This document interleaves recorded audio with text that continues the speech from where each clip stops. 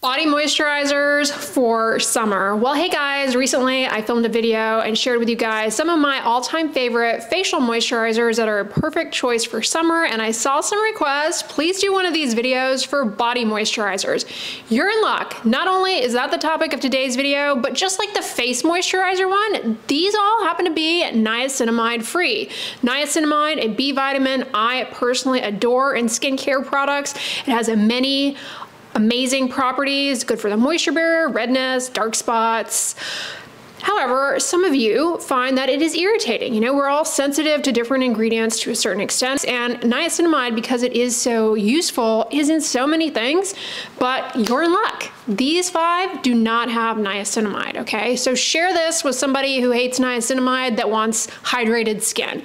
Now, speaking of hydrated skin, it's summer, you're hot, you're sweaty. Does not mean you're moisturized. Does not mean your moisture barrier is happy with you. Does not mean skin problems related to an impaired moisture barrier are not right around the corner. So it's not necessarily a time of the year where you can just abandon ship with moisturizers. In fact, in fact, there are many summer specific issues that pop up and necessitate a lightweight hydrating moisturizer. We are having some sort of mosquito apocalypse and not just like visible mosquitoes, but these like little tiny microscopic mosquitoes that seem to come from the depths of Hades. There is no leg safe in the city at the moment. And so in order to deal with the itch, moisturizers are really helpful for soothing the itch and preventing you from scratching. Maybe you were unfortunate enough to get a little bit too much sun on a vacation or just doing yard work outdoors. Maybe you unfortunately got a sunburn. The barrier needs a little TLC and a recommendation is a lightweight hydrating moisturizer. As a matter of fact, if you put any of these in the refrigerator and apply them to the skin while they're cold, not only will it help soothe the skin, alleviate discomfort, maybe related to a sunburn, but it also can help to alleviate itch, whether it be from mosquito bites or maybe you have atopic dermatitis and it's flaring because here's another thing. Summer, we sweat. Sweat is very hard on our skin's moisture barrier. It can trigger flares of eczema as well as other skin problems, including frictional dermatoses and the skin folds like chafing between the thighs, under the arms, the list goes on and on. So if you thought that summer sweat, humidity meant oh, I must not need moisturizer, you'd be mistaken. But, but here's the thing, moisturizers that are really heavy may not be super comfortable in the summer. They may slow down the rate of evaporation of sweat, make you feel overheated, maybe even aggravate that heat-related skin condition, miliaria, aka prickly heat, heat rash. I have a video all about this bad boy, so you need to check that out if you are in the throes of heat rash right now. But you'll recall from my videos on miliaria that you wanna make sure that you are sticking to a lightweight hydrating moisturizer to soothe the skin, but not further contribute to blockage of sweat because that is the root cause issue with heat rash. All of these are free of fragrance. Vanicream, you know, it's a go-to recommendation for anyone dealing with any kind of skin problem because as a brand, they tend to leave out common irritants, common skin allergens.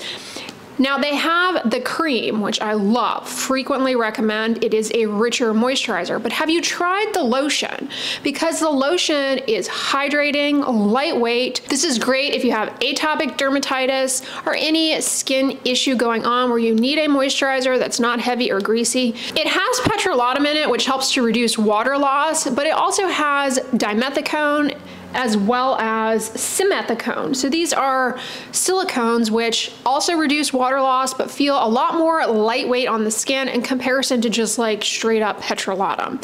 So it's a really good option. As a side note, you can use this as a facial moisturizer as well. It doesn't bill itself as a gel cream, but it is kind of the texture, the feeling of a gel cream. A lot of the rashes that I mentioned that are summer specific, like heat rash, or uh, sunburn or bug bites, I suggest considering colloidal oatmeal. In fact, I've talked about taking a colloidal oatmeal bath to soothe dry, itchy, irritated, inflamed skin.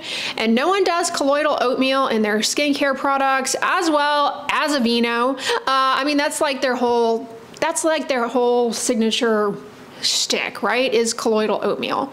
And they have a ton of really amazing face, body moisturizers. But have you tried the Eczema Therapy Rescue Relief Treatment Gel Cream? I discovered this several years ago.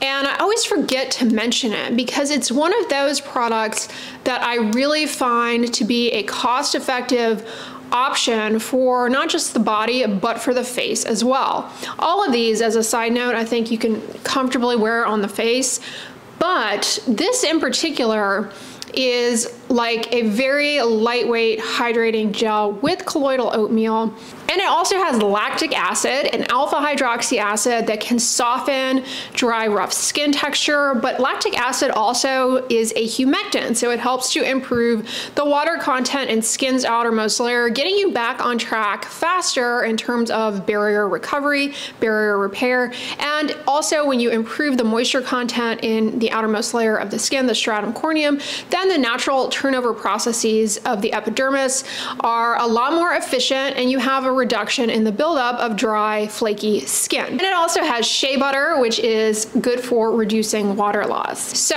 Eucerin has a gel cream. Um, this particular product is the yin to Eucerin's essential oil balm. This is the hydrating lightweight gel moisturizer from Eucerin. It's got glycerin, shea butter, sunflower seed oil, and panthenol, which is good for hydrating and moisturizing the skin. And I'm comparing it to their essential oils balm, which as a side note, does not have essential oils in it, but the balm is is like a winter let's grease up moisturizer okay? It's a it's a almost it's almost stepping into the ointment category but a bit more lightweight in comparison to a full-on ointment. Um, that is that is a winter winter product. If I you know that is not to say you can't use it in the summer but it does not belong in this video the hydration gel cream, on the other hand, does. It really flies under the radar. Like when you go to the store, for example, my local Kroger's, plural, sell it, but it's always like not standing out at eye level. And so you kind of have to hunt around for it in the stores. Of course, they sell it on Amazon. You can get it at Walmart. Um, but yeah, these this particular moisturizer from Eucerin, I think flies under the radar as far as something that you might enjoy for the summer months. Most of Eucerin's moisturizers tend to be on the thicker side, um, and this one is is the exception. It is really a gel cream. It's very similar to the textures of some of these others that I'm mentioning here. Now we talked about a lightweight hydrating gel cream to moisturize the skin after you've gotten a lot of sun exposure or God forbid a sunburn. Now, have you guys ever tried Cetaphil's Soothing Gel Cream with aloe? Um, I'm mentioning that because people love aloe on a sunburn. It does have compounds in it that are soothing, anti-inflammatory. However, I always caution, you know, don't just go out and, you know, pick from the aloe plant and smear it on your skin. It does have compounds in, in the plant that can end up being very irritating in the long run. Um, but aloe as an ingredient in skincare is more refined. Some of those, you know, those irritating compounds have been removed.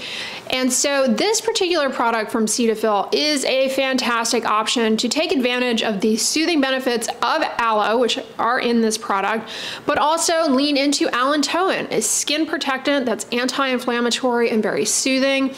This is perfect for a sunburn. Um, it's very, well, it's soothing, hydrating. It helps with the barrier. When you've gotten a sunburn or you've had a lot of sun exposure, you know, it puts a lot of stress on your skin barrier. You are more prone to dryness and irritation. So the skin protectant aspect of this is wonderful, but it's at the same time super lightweight and hydrating, so it's not going to make you feel overheated. It also has sunflower seed oil in it, an emollient. It has glycerin and it has panthenol, a B vitamin that is very hydrating. Um, this is one that flies under the radar as well. I don't see a lot of promotional materials for this product from Cetaphil um, because their cream is fantastic. Their lotion is amazing, which also, you know, probably would be a great choice here too. But I really want to draw your attention to this in particular for summer skin issues because you might miss it in the store um, definitely check it out. I have a small tube of it, but they sell it in a large jar. And then last but not least is Neutrogena's Hydro Boost Body Gel Cream with hyaluronic acid the fragrance free one. Be aware they make this with fragrance, which I personally don't care for. It is a very strong fragrance, not my preference. I love the fragrance free one though. Um, this, you know, again, has hyaluronic acid. That along with glycerin, another humectant, really help to quench the barrier and get things back on track. It also has petrolatum, a skin protectant. It also has dimethicone, which again feels a lot more lightweight.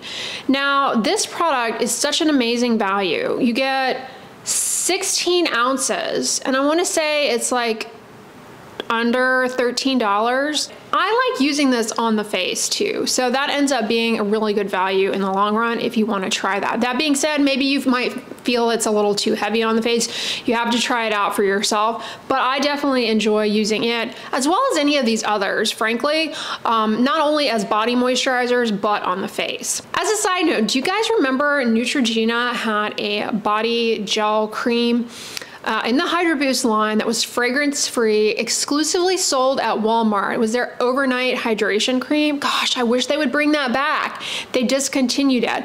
But this has been around for a long time and fortunately it's still around and check it out because it's one of their best products. I mean, I personally love the Hydro Boost line in general. Um, I just think that the formulations are fantastic and this is no exception and hopefully they don't discontinue it in the future. All right, so that's a wrap up of the five body moisturizers for summer. Most of these are marketed as gel creams um, with the exception of the Vanicream one, which markets itself as a lotion, but they all are super lightweight, hydrating, and do kind of have that almost gel cream consistency, including the Vanicream one. Highly recommend trying these out if you are looking for a lightweight, hydrating body moisturizer for your skin barrier this summer but you don't want something greasy. Now that being said, if you are using a body moisturizer and you enjoy it and it's not causing you any problems and you feel comfortable using it in the summer, like it's still working out fine, there's no reason to replace it. Along those lines, if you try one of these, fall in love with it, don't necessarily feel as though come fall, you're going to have to completely switch up again. You might want to, but you may not need to. So these could become a holy grail for you and one that serves you well. All the moisturizers in this video would also be wonderful options if you have acne prone skin on the body, you get breakouts on your chest, your back, um, and you want a hydrating moisturizer because side note, just because you have acne does not mean that your skin barrier is teed up and not in need of some support. In fact, many people with acne